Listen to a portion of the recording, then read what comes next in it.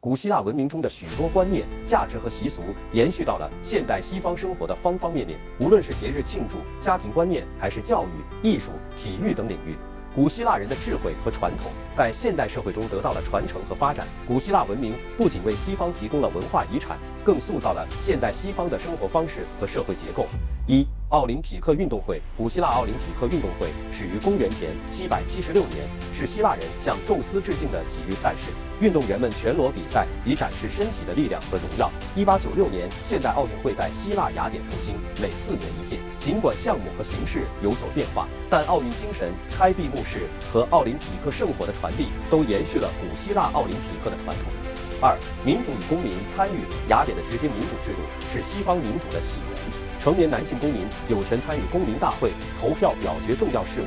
雅典还设有陪审团制度。今天的西方国家普遍实行代议制民主，投票选举和公民参与等理念都源自雅典民主思想。公民投票选举制度以及法治观念都是对古希腊民主的传承。三、修辞与公共演讲。古希腊人非常重视演讲和修辞。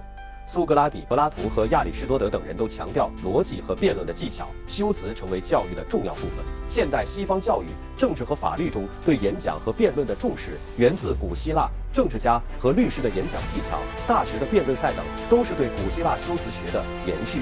四、剧院与戏剧。古希腊的戏剧艺术发达，悲剧和喜剧是主要的戏剧形式。希腊的剧院在露天场所搭建，是公众娱乐和教育的中心。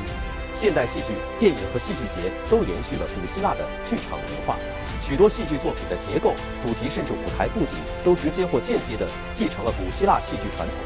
五、希腊神话在日常用语和文化中的运用。古希腊神话对西方文学和语言产生了深远影响，许多成语和典故直接源于神话故事。例如，阿喀琉斯之种代表致命弱点，潘多拉的盒子象征打开灾难的源头。这些神话典故广泛应用于日常语言、文学和电影中，象征性地表达复杂的情感和观念。六、科学与理性思维。古希腊人强调理性思维，发明了逻辑学和科学方法，推动了天文学、数学和物理学等学科的发展。西方的科学探索和逻辑思维方式继承了古希腊的科学精神，理性思考、实验方法、逻辑推理等理念在西方科学和教育体系中占据核心地位。七、文学教育。古希腊人重视文学教育，《伊利亚特》和《奥德赛》被视为经典。希腊悲剧是教育和道德教育的重要工具。现代西方教育系统仍将古希腊文学列为经典必读书目，许多学校教授希腊史诗和戏剧，培养学生的文学素养和道德观念。古希腊文学对西方写作和语言也有深远影响。八。法律体系和法治观念。尽管古希腊没有现代意义的法律体系，但他们非常重视法律和法治的原则。雅典设有陪审制度，公民在法庭上可以为自己辩护。西方的法律体系在很大程度上延续了古希腊的法治观念，强调公民权利和平等司法。现代陪审团制度、公开审判和辩护权的理念都深受古希腊的影响。九节日和庆典的影响。古希腊的狄俄尼索斯节不仅是为了庆祝葡萄酒和丰收，还包含了戏剧表演、音乐、舞蹈等艺术活动，让大众在狂欢中感受神性的力量。西方许多节日的庆祝方式延续了这种精神，比如新年、狂欢节、音乐节和啤酒节。这些活动通常包含大型游行、面具和盛装打扮、饮酒狂欢等，和古希腊人祭祀狄俄尼索斯的节庆活动非常相似。现代节日中狂欢、释放压力和分享欢乐的理念深受古希腊庆典文化的影响。十、葬礼和哀悼习俗。古希腊人非常重视葬礼，他们在葬礼上会使用各种仪式来表达对死者的尊重。比如穿戴黑衣、点燃香火、吟诵哀歌等。现代西方的葬礼上依然会穿黑色的服装，表示哀悼，并常用花环、蜡烛等象征性物品纪念死者。很多葬礼还会邀请亲友为死者致辞。这种仪式的形式和象征意义都受到古希腊习俗的启发。十一、美学和审美标准。古希腊人崇尚人体的美感和理想的比例，他们的雕塑艺术和美学思想强调和谐、和谐平衡。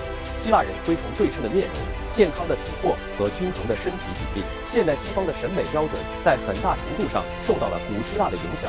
健身和媒体产业推崇的健康体魄、黄金比例等概念，都继承了古希腊对人体美的崇拜。美学领域对对称性和和谐感的追求，也是希腊美学的延续。十二、星座和占星学。古希腊人将天空分为十二个星座，并将它们与神话人物和动物联系在一起。占星术在古希腊十分流行，十二星座在西方依然广受欢迎。